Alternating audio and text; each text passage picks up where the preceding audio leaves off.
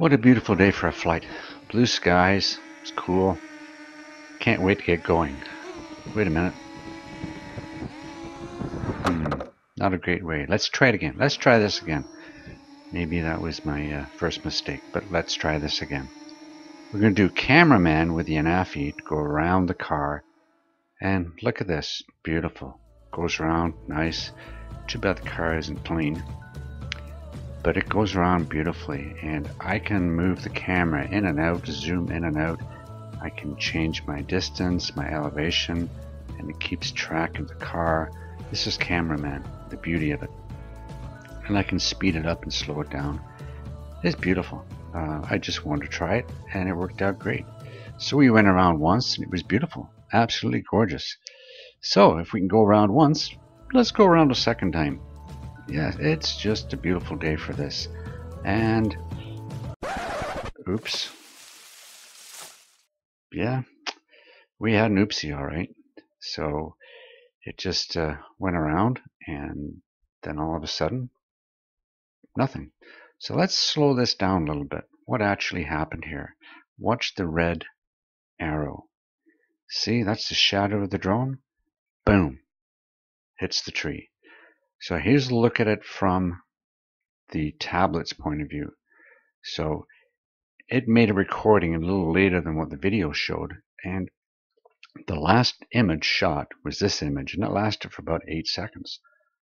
And then, after the eight seconds, the screen went blank. So I didn't have FPV, or I didn't have a video feed for some reason. But then, something strange happened.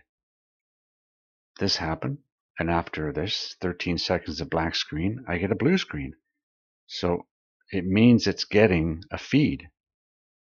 But the stranger thing from that is it's actually saving a video on the on the Anafi actually saved this three minute blue screen video.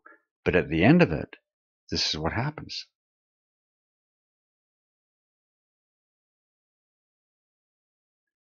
Black to white. Let's look at that again. Dark to white. Oh well, enough of that. Okay, we lost it. So let's go find it. The last image I had of it was something like that. So if I go back in here, and I must admit, I've already found it but it was scary for a while. We come in here and this snow is so deep and somewhere around here, if I turn around, there's the vehicle. So in actual fact, where did I find it? I found it right here. So it hit this tree up here and landed in here and here it is that I found, but it was laying like this under the snow. And I heard the beeping of the motor and the blue flashing light. I think it was upside down, but it was there, covered in snow. We'll see what it's like, but it hit that tree, I'm assuming, right there. And it just landed. Poof. Took me about 15 minutes. I thought it was over here. Because if I turned around, I saw that. But when it dropped, it would have been here. So I guess it fell on an angle. So this is the beast, covered in snow. What I'll do is I'll take it home, I'll blow all the snow off, take the battery out, and I'll just let it dry for three, four days. See what happens. Maybe I'll put it in some rice. Probably a good idea. But I thought it was here. Ended up being a little bit over there.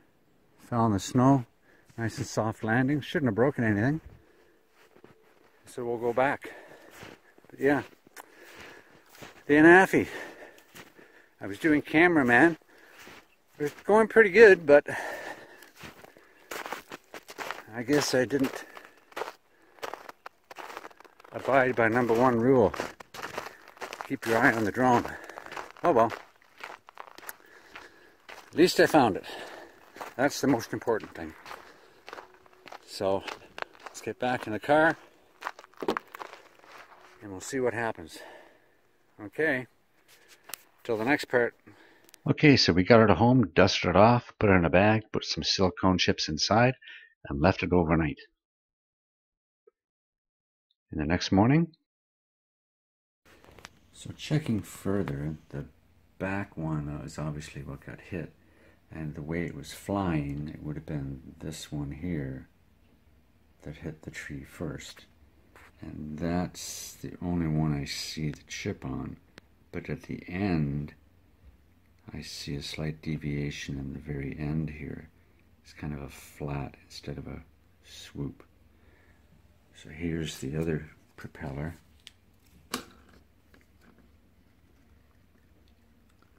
And it just looks a little flatter on the end.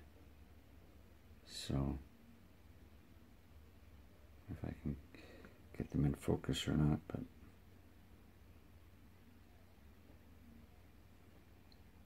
anyway, that's the correct one. So I've got four ready to go, but when I look at these ones, that one seems to be okay.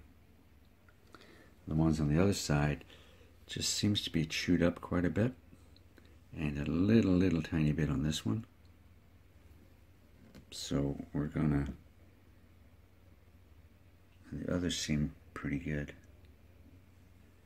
The others seem pretty good. So I may or may not change these ones. I really don't know. I think I should for the sake of argument. Um, so I'm going to change these two and this one. So there we go. These two and this one. Okay.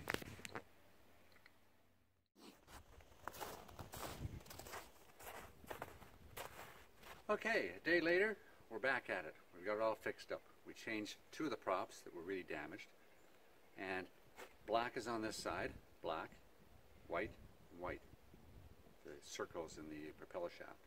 Okay, these go clockwise, these go anti-clockwise. So we're going to start it up with them turned that way so we try and prevent that chipping. Okay, so we're going to put it down. We're going to put it down.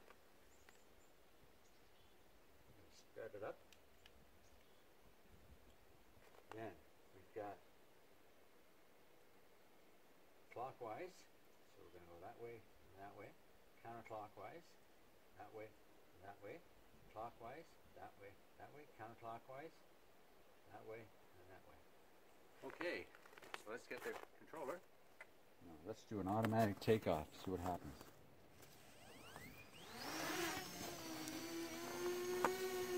There we go.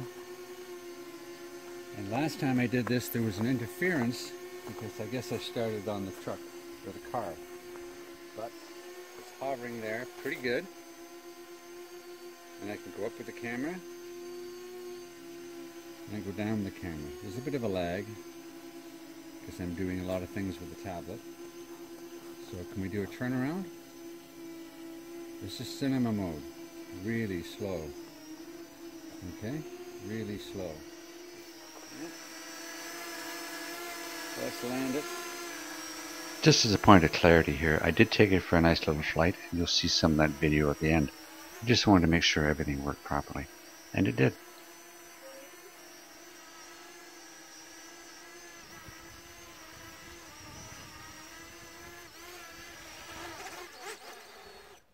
Bingo. Here we go. the Anafi. I can't say anything bad about it.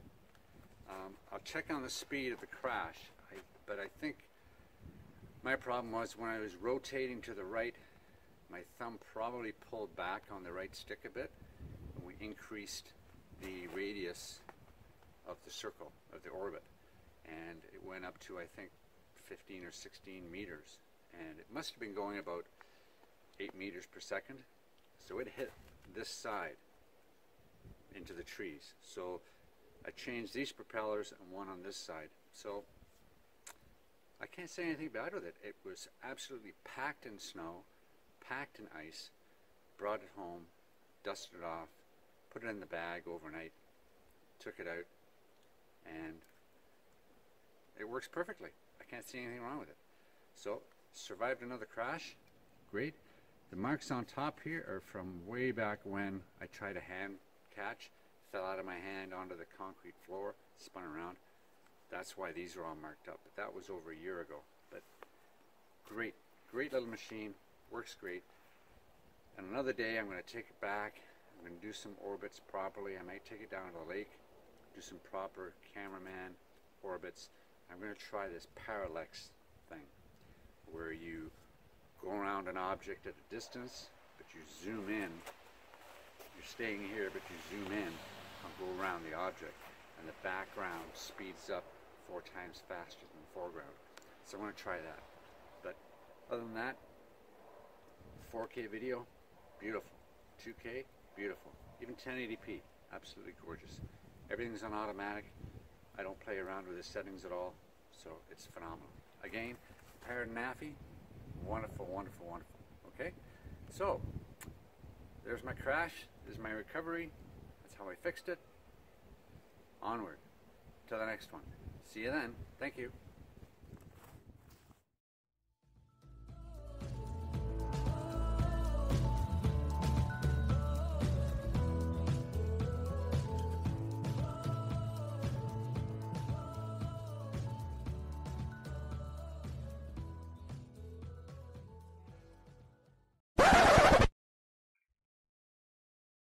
Hold the phone. Just hold the phone. I got more questions than answers here. I've never before seen a video of a crash where you don't see some movement in the trees. When it hits the tree, you see the branches in front of the trees, the leaves, whatever. Not in this instance. Not, it was just suddenly it stopped. Uh, I can't figure that out. Also, I can't figure out why there was a disconnect for 13 seconds and then the blue screen starts recording again. It doesn't say it's recording on the app, but there's an actual image file created on the Anafi of the blue sky, which lasted three minutes. Was it the sky? Was it the ground? Was it the flashing light? What it was, I have no idea. The other issue is go back and look at the screenshot. The screenshot final image is a couple of frames ahead of the actual video, which is usually backwards because normally the flight video records more than your screen video. Not in this case. And it lasted for eight seconds. I can't explain that either. So a lot of things I can't explain. I can't explain at the end of the blue image file suddenly turns darker and then goes to a white screen. I can't explain that. All I know is I didn't activate a video. I didn't do anything. So there's more questions than answers. I have no idea. But there it is. Uh, it crashed. My fault. I repaired it. It works great. Everything's back to normal. Next time. Oh, and yes, I have no idea why it was in race mode, racing mode. No idea. But Lesson learned. On to the next one. Thanks for watching. Enjoy. Stay safe. Oh, and one last thing. If anybody has any ideas or any answers to some of these questions I've asked, please let me know. I'm scratching my head over it. Okay. Thank you.